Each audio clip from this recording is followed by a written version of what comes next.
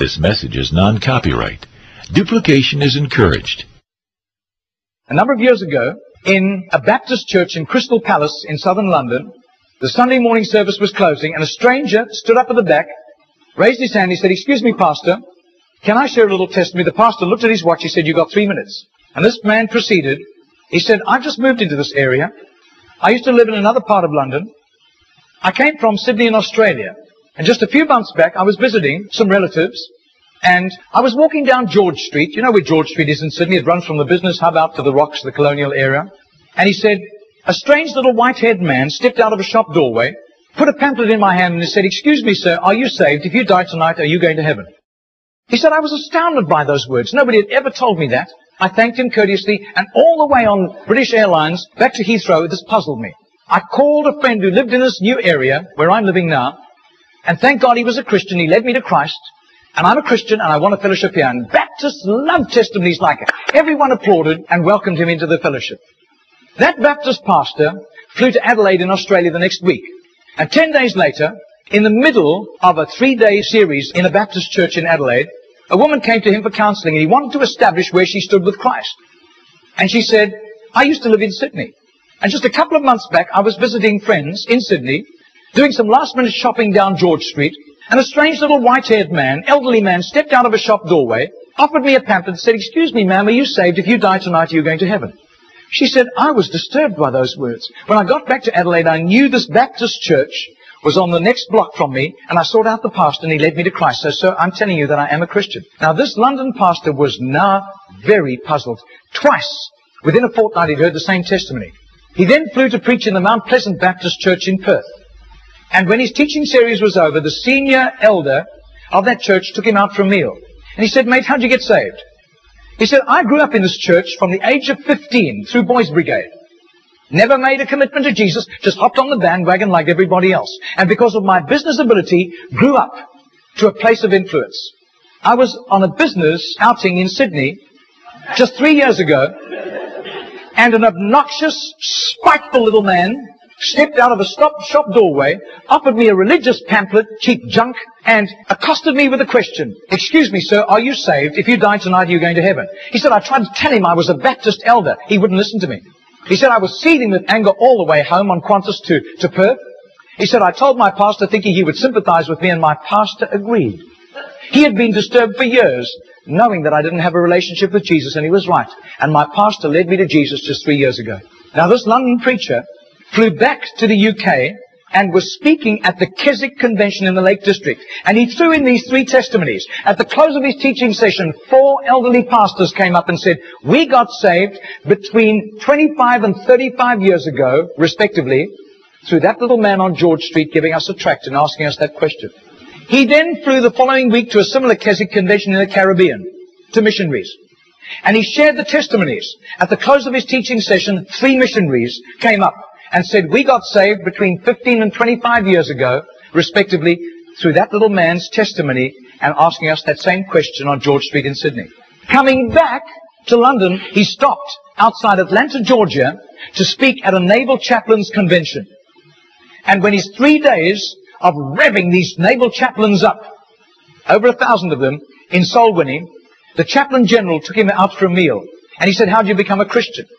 He said, well, it was miraculous. I was a rating on a United States battleship and I lived a reprobate life. We were doing exercises in the South Pacific and we docked in Sydney Harbour for replenishments. We hit King's Cross with a vengeance. I got blind drunk. I got on the wrong bus, got off in George Street, and as I got off the bus, I thought it was a ghost. This elderly white-haired man jumped in front of me, pushed a pamphlet in my hand and said, Sailor, are you saved? If you die tonight, you're going to heaven.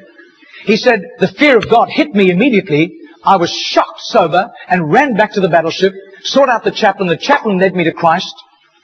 And I soon began to prepare for the ministry under his guidance. And here I am in charge of over a thousand chaplains and we're bent on soul winning today.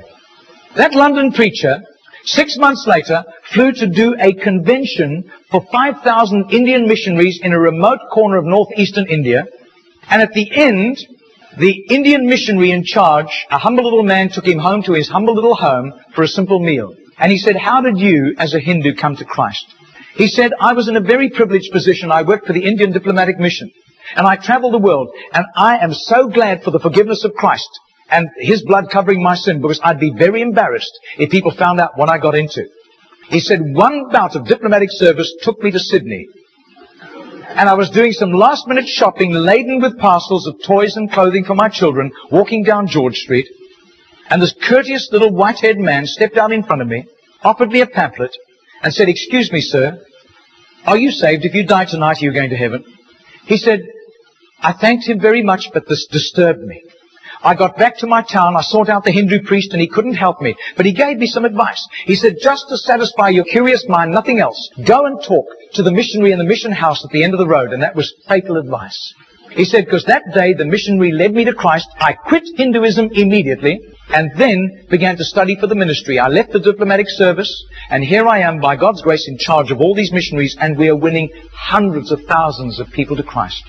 Well, eight months later, that Crystal Palace Baptist pastor was ministering in Sydney, in Gymea, southern suburb of Sydney. And he said to the Baptist minister, do you know a little man, an elderly little man who witnesses and hands out tracts on George Street?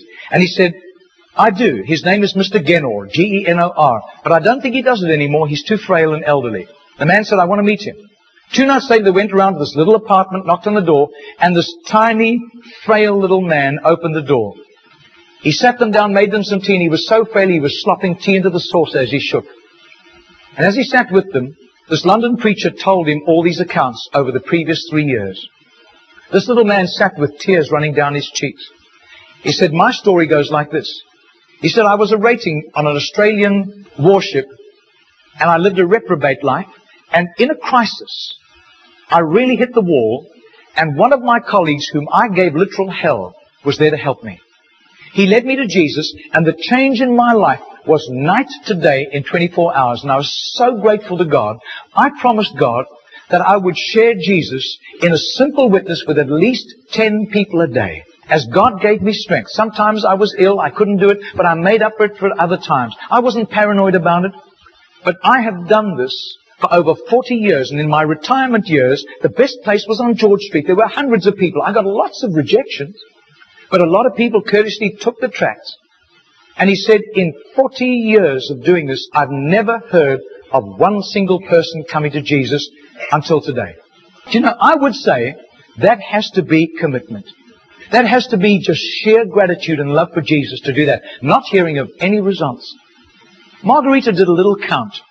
That's 146,100 people. That simple little non-charismatic Baptist man influenced somehow to Jesus.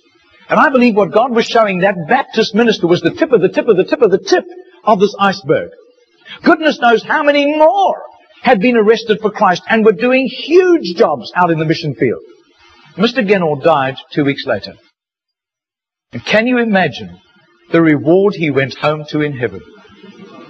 I doubt if his face would ever have appeared on Charisma magazine. I doubt if there would ever have been a write-up with a photograph in Billy Graham's Decision magazine, as beautiful as those magazines are. Nobody except a little group of Baptists in southern Sydney knew about Mr. Genor, but I'll tell you his name was famous in heaven. Heaven knew Mr. Genor, and you can imagine the welcome and the red carpet and the fanfare he went home to when he arrived in glory.